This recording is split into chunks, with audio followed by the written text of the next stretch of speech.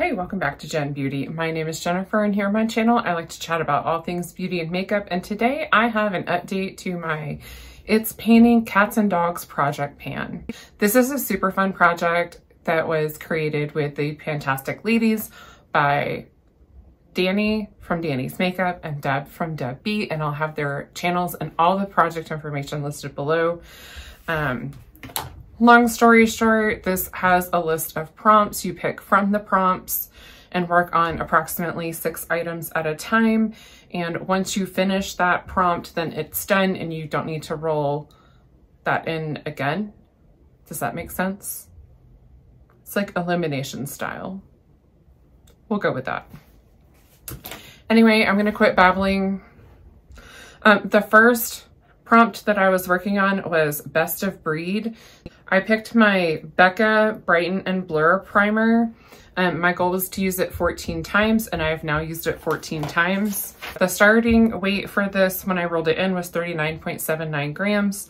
The current weight is 34.45 grams, so I got a total of 5.34 grams in this project and 3.19 grams of usage since my last update. This is a beautiful primer. Um, I am finding though that in the winter, like dead of winter, I don't like it as much. I want something really hydrating and this is not that. So, um, I also don't really like it a lot in the summer. So I kind of like this as like my transition from like grease ball to Sahara Desert. Um, it's beautiful in the spring and the fall. I really, really like it. Um, Becca, unfortunately, as you probably know, is no longer in business. They only have a few products that were picked up by Smashbox, so I will be sad when this is gone, but I'm gonna enjoy it until it is. So let's roll out number one. The next prompt that I rolled in was Siamese, and for that I chose a ColourPop Super Shock Shadow in the shade Kush. And um, my goal was to use this 20 times and I have. Um, I'll try to pop the picture up of what this was looking like last time. It looks different because I had to kind of like scrape off a little bit and then kind of press it back down because it was starting to get kind of like hard pan feeling. Not necessarily that it was dried out, although maybe that's the problem. But um, I rolled this in, it weighed 13.52 grams and it currently weighs 13.25 grams for a total usage in the project of 0.27 grams and 0.18 grams used since the last update. So I'm happy with this. Um, it's maybe not my favorite. It's not one that I would repurchase, but it's one that I can see myself using until it's gone or until it's time to toss. The next item that I rolled in was German Shepherd, and that was my BH Cosmetics setting spray. This is the BH Paradise Set Hydrating Setting Spray. I did get this at TJ Maxx. I have no regrets. I really like it. Um, the only like downfall for me is the spray nozzle on this is almost too fine where I almost feel like it's dispersing it too much and I'm not really getting a good like concentrated spray anywhere on my face. So I feel like I have to use maybe a little bit more of it than I normally would. Hopefully that makes sense. Um, so when I rolled it in, we were here. At last update, I was here because I was actually working on finishing a different setting spray. And now we're here. So I'm pretty happy with that amount of progress. Um, there were a few days that I didn't wear makeup, but I really could have, but I just didn't feel like it, so I didn't. Um, so I'm, I'm guessing maybe like another two months of usage, and I should hopefully have this prompt done. And then, um, oh, when I rolled it in, it was 123.59 grams, currently weighs 101.92 grams. So I've used 21.67 grams with 19.13 grams being used since the last update. The next prompt that I rolled in was ID tags. Um, for this, I chose my Makeup Geek eyeliner uh, in the shade Gunmetal. And for this one, my goal was to finish it. I would roll it up for you right now, but I actually kind of broke it doing that earlier. Um, I was able to like poke it back into the component. So I'm hoping that I can get some more usage on it before I have to call it.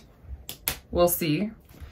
Um, this one, I didn't make quite as much progress on it as I was hoping to, but it's still not bad. So this is where it was when I rolled it in. This is where it is now, or this is where it was last update, and this is where it is now. Um, somehow though, I rolled it in and it was 4.52 grams. It's currently weighing 4.45 grams. So since last update, I only used 0.02 grams, but I've used 0.07 grams in the project. The only thing I can think is that I possibly weighed it without the cap last time. And if that's the case, I'll correct my totals on the screen um, because I cannot currently access the picture. Um, so hopefully that's correct. The next item is um, that I, the next prompt that I rolled in was Shar Pei. And for this, I picked my Pure Submerge um, moisturizing cream. This is like overnight detox anti-pollution moisturizer. I don't know, I got a TJ Maxx. So when I rolled this in, it was 149.35 grams.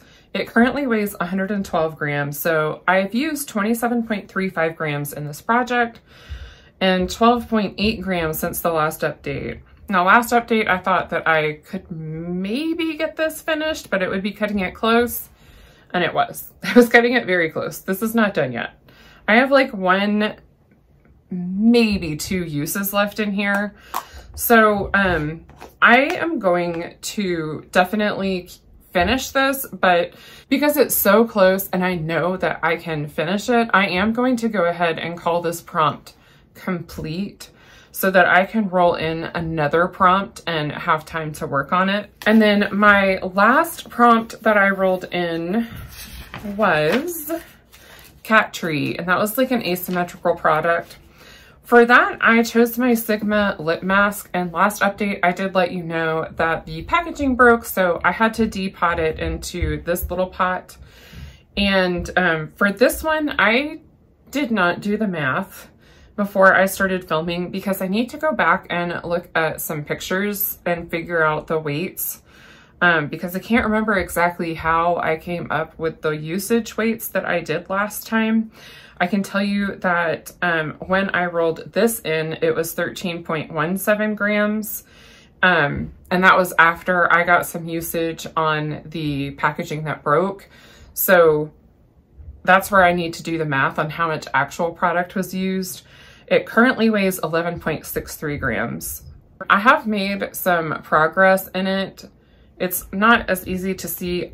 I kind of backed off from using this a little bit um, because I had a lip mask that was like this close to being done. It wasn't in a project or anything, but I just kind of felt like I really wanted that for an empty for the end of the year. I wanted it done so that I could quit losing it because I kept losing it on my nightstand and in my bedroom. So, um, that being said, we have the Super Shock Shadow and the um, moisturizer will be rollouts so we can pick two more prompts. And then for prompt number one, best of breed, um, this was for my cat Chloe. So now I'm going to roll in my next animal so we can chat about my other lovely kitty cat.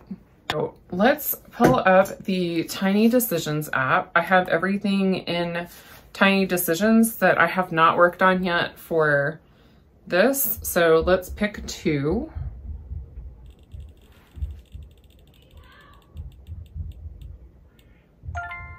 All right, so the first one we got is domestic short hair.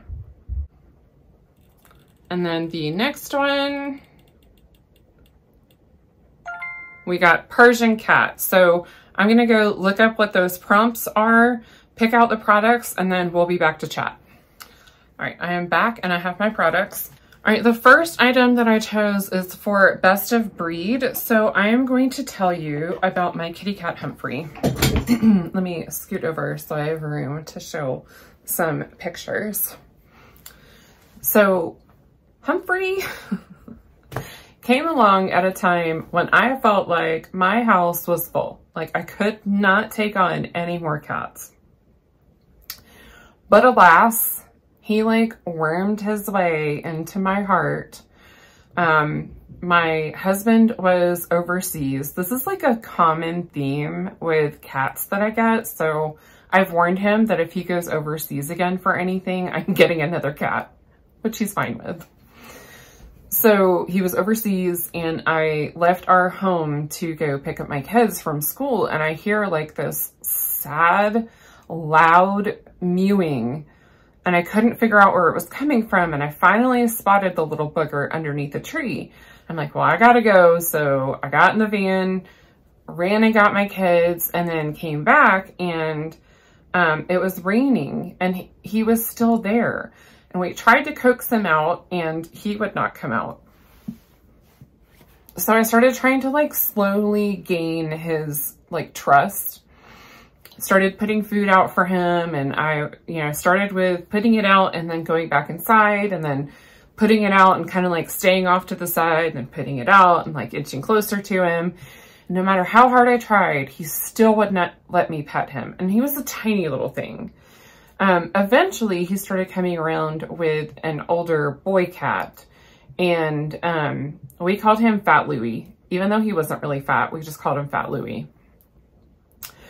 But he was mean, and he would not let Humphrey eat. He would, like, whack him away, but then at the same time, he seemed to kind of be taking care of him. We're pretty sure it was his dad because he looked exactly the same as this other kitty cat. Um, but we never found mom. We never found other kittens. It was just the two of them. And um, one day we went to take my kids to the baseball park for practice or a game or something. And we get out of the car and I'm like, is that a cat meowing? Like there's never cats in this park. That's weird. And we go and we sit down and, you know, we're getting settled.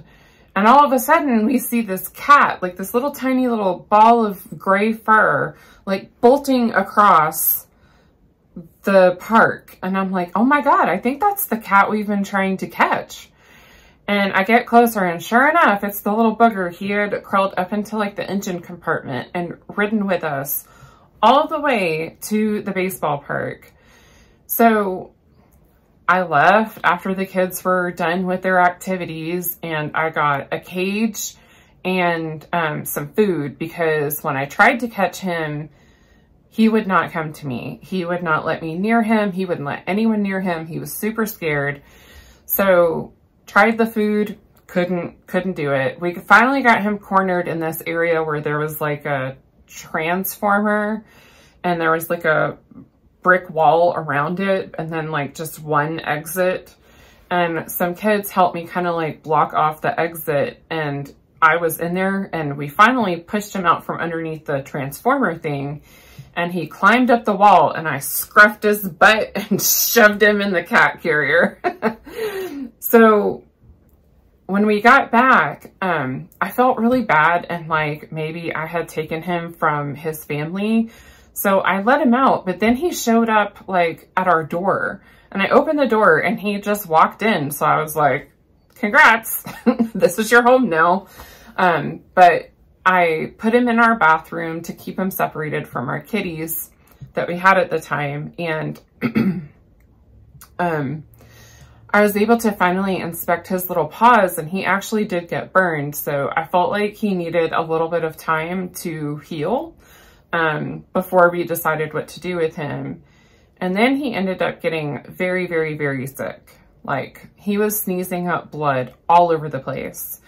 So we took him to the vet and the vet said he had like a pretty bad upper respiratory infection. So they gave us some antibiotics for him.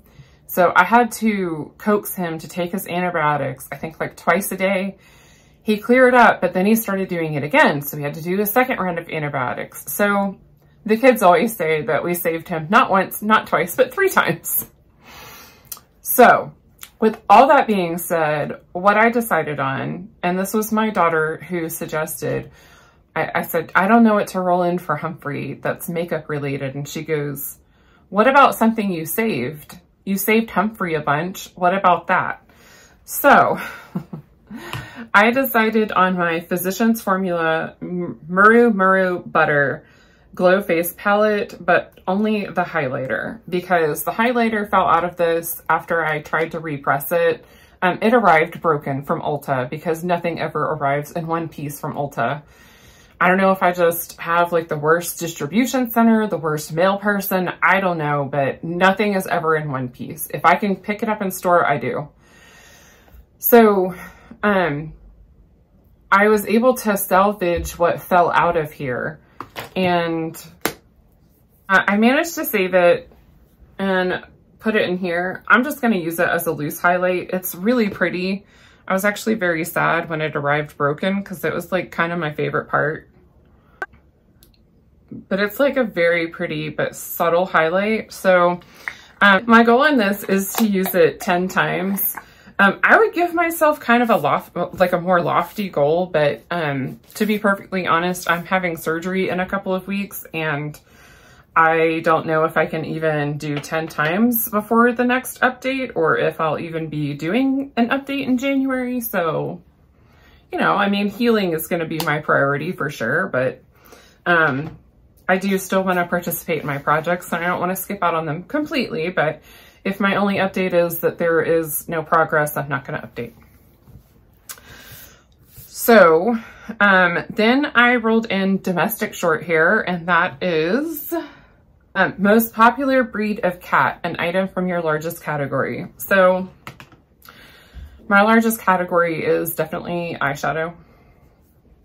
Singles, palettes, you name it. I have too much of it when it comes to eyeshadow. Um, I've actually learned about myself that I really hate panning eyeshadow. I love panning every other kind of makeup, but I do not like panning eyeshadow. That being said, I decided to pull a palette that I actually have been very much enjoying lately, hoping that I still enjoy it. um, but my goal is just to use this four times. So I chose the Frozen 2 palette, um, the Elsa from ColourPop. And my goal is to use it four times. It could be if I reach into here for an inner corner highlight, a outer corner deepening shade, a whole look. I don't care. Each day that I reach for this is going to be one use. I need to be kind to myself and set a goal that is attainable because I hate panning eyeshadow so much. So, um, this one is four uses. I also rolled in Persian Cat, which is royalty of cat breeds, a product that makes you feel like royalty. Um, I actually struggled with this because all of my makeup makes me feel like royalty. Like I feel so good. Um, but I decided on the Natasha Denona Cupid Cheek Duo. This is something I had my eye on for a while, but I didn't really want to spend the money on it. And then I ended up getting an Ipsy and I was like, okay. Um, but it's really pretty and um, I really do enjoy it. So my goal on this is to use it 10 times. Same rules as the Elsa palette. If I reach into it 10 times for the highlighter only, that's 10 uses.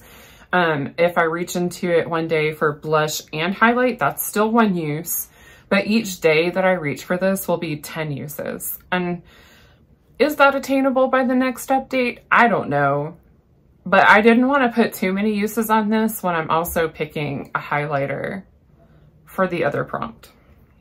I don't really have any goals for the next update, kind of like my life, but here we are. Um, other than just progress. My goal for the next update is progress because I'm just going to be gentle with myself, um, not stress out about it at all, just enjoy my makeup until it's time for surgery. And then after surgery, just try to focus on self-care and getting better. That's all I got. So um, if you're participating in this project, leave me a comment below so I can go check out your video. If you're only participating on Instagram, let me know and I'll go follow you and check you out. Um, I thank you so, so much for joining me today. It really always means so much to me. Oh, and if you've not checked out Deb and Dannie yet, I highly encourage you to. Dannie is like a master panner. That almost sounded perverted. I am sorry. Um, and Deb just like always brightens my day with anything that comes out of her mouth. Um, and they have some videos together that they did. Like that's actually how I found them in the first place. I think how I found Deb. I'm rambling at this point. Check them out. And if you like this video, I hope you'll give it a big thumbs up. And if you would like to see more makeup and beauty content from me, hit that subscribe button and I'll have more coming at you. I hope wherever you are, you have a wonderful day. Bye. Oh, you know what? It would be helpful if I wrote down what I chose and what my goal is. is. Oh my gosh. I think I tightened this too much. Oh my God.